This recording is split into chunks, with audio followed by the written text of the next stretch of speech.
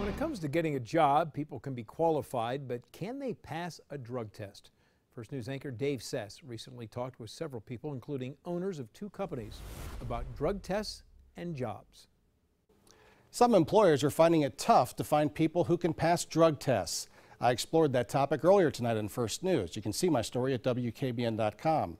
Right now, details on the big effort to help companies find drug free workers.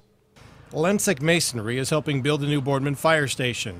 Its bricklayers have a tough job in what can be a dangerous profession. That's the first step in having a safe job is making sure that the employees uh, aren't doing drugs and they come to work with a clear mind.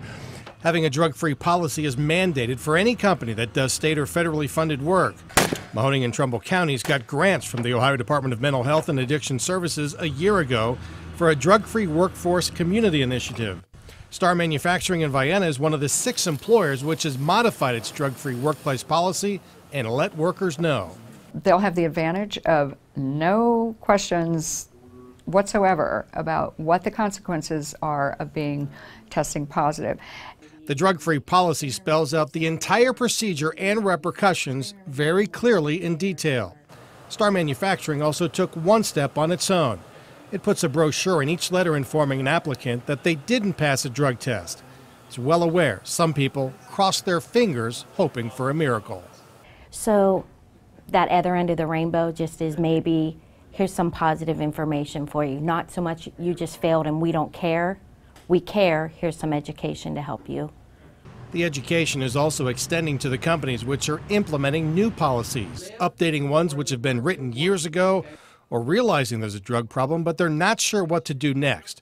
So it's about providing information so they can make a decision.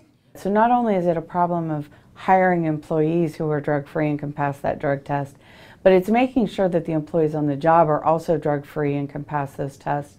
The drug problem is a nationwide issue, but right now companies across the valley are wasting energies to find new workers, and those testing positive for drugs are pushing them back. Trying to identify and address some of these concerns is what's really important, with the regional chamber getting help from the mental health and recovery boards to emphasize drug free policies and workplaces. To kind of set the precedent that if you want to work, you must stay clean, uh, and we're willing to hire you, uh, but, but you've got to stay clean. And the next step will be when medical marijuana becomes legal in Ohio.